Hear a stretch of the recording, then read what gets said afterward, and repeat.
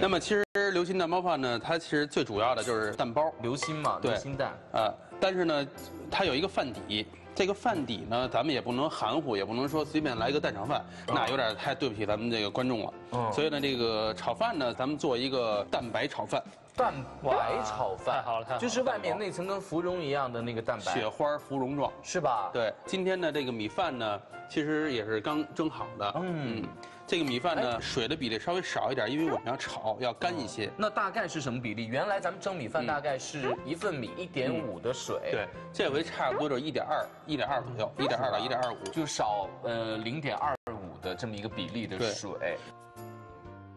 所以呢，今天我们做这个 XO 酱牛肉松炒饭，配上那瑶柱蛋白炒饭二合一。我们今天这是豪华配置啊！而且咱们今天选用这蛋特别高级，一定要做这流心蛋呢，因为它里头是那种流心的状态，所以呢，建议一定要用这种就是无菌蛋。其实蛋清炒饭比这个全蛋液的炒饭一要好吃，二一个呢，它的口感也要更好一些，清爽一些。清爽一些。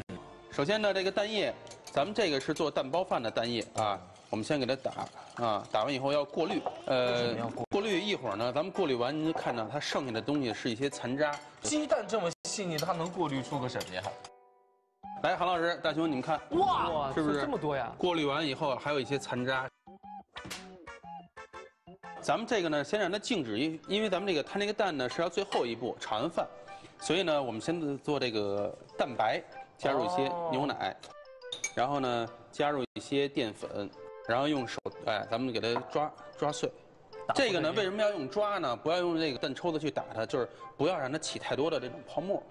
啊，如果起太多泡沫，一会儿在锅里它炒的时候，它会变成那种有点像，就是特别蓬松。它的，然后呢，你在这个等它一稍微凉一点儿，它就塌下来了。哇，我今天简直是上了一堂鸡蛋高级培训课，是吧？牛肉馅儿也是，咱们事先呢用点咱们这个蛋液，好，哎到处都要用蛋液。对，蛋液在里头起到作用，也是形成一层保护膜，一会儿煎的时候，让它这个肉质啊会嫩一些。现在呢，咱们呀先来把这个蛋白提前做一下处理，先往这锅里呢倒入咱们这个油，这么多油，对，下入锅内，其实油温很低哈。很低，不能千万不能高，哦切记不能高。当它底部形成一层保护膜以后，我们就慢慢的推，千万不能给它过于过熟了，不行了，就不够嫩了。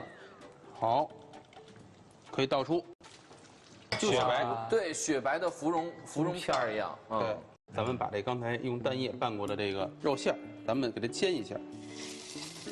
这个肉末呢，咱们我建议啊，选用这种肥瘦相间的，它吃这个油脂呢会比较香。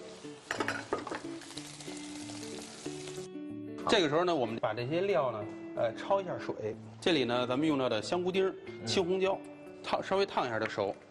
啊，还有咱们这个蛋清儿，蛋还要放在里面煮吗？稍微的蛋还要焯水吗？焯一下水。啊，嗯，把油这是一个什么情况？咱们这个是去油的一个过程。油煮出去。给它把油去掉油。现在咱们做的就开始炒这饭，把咱们的饭放到锅里面，先给它打散。这个炒饭呢一定够热，一定要有锅气。咱们炒饭的饭呢会硬一些，所以我们在炒的时候可以适量的往里加水。好，咱们这米饭炒热的时候呢，咱们就可以把刚才咱们的煸炒的肉末下去。这个 XO 酱稍微来一点点，什么叫做 XO 酱？在英文当中呢，叫嗯 extra old，就是足够的老、足够的陈、足够的顶级的意思。对它是香港的一个厨师在八十年代的时候呢研发出来的，里面用瑶柱、用火腿，有很多顶顶级食材。我们烹入一些酱油，我们最后再来一点点鸡粉作为调味儿。嗯，好，把刚才咱们蛋白还有焯过的菜一块儿放进去，快出锅的时候，我们加入葱、蒜、葱香，哎，咱们就可以出锅了。咱们先给这米饭盛出来。嗯。现在呢，就是咱们准备最关键的一个了，煎蛋。根据这个勺子的大小来说呢，两勺左右。嗯，嗯。然后呢，牛奶嗯，差不多半勺，是吧？水淀粉差不多也是半勺左右。咱们呢，在这个做这个之前呢，咱们需要先把米饭给它扣在这个盘子上，嗯因为呢，如果一会儿咱们都做完了以后再扣，来不及，因为这鸡蛋啊，它的这个流不流心儿，这个就在这几秒钟这生熟哦。好，然后，咱们给它稍微的让它变成一个枣糊状、橄榄状就可以。嗯，然后最关键呢，我们还要加一点这个鲜味汁儿。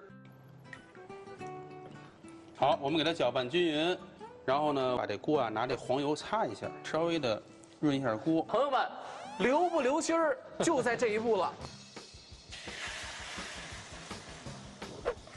搅拌，快凝固的时候呢，我们就慢慢的拿离锅，慢慢的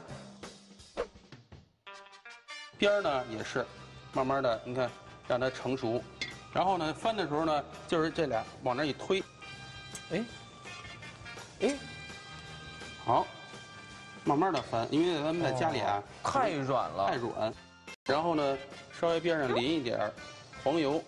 也是为了让它润锅。朋友们，这个鸡蛋到底流不流心儿？大家看好了，摆在正中间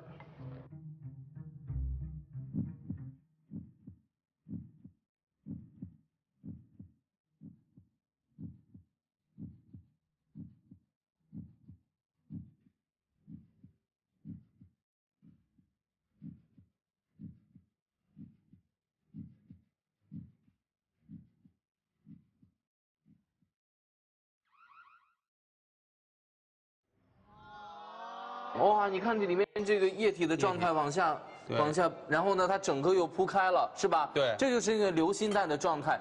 缓下去之后，一勺饭，然后里面充满了这个带有奶香味的蛋。嗯嗯，来一点番茄酱，把这个开心果碎，还有这个欧芹叶，撒在上面，自然的一撒就行了。在网络上盛传的那个流心蛋，在我们节目现场。